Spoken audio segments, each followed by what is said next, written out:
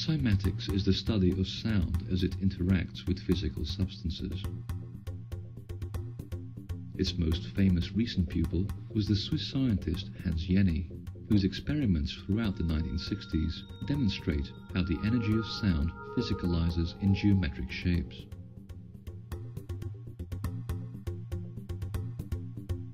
In a sense, he helped humanity to visualize frozen music.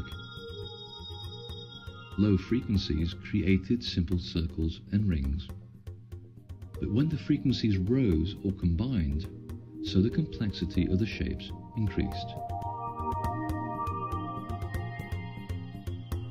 Interestingly, this is exactly what is now occurring in fields around the world.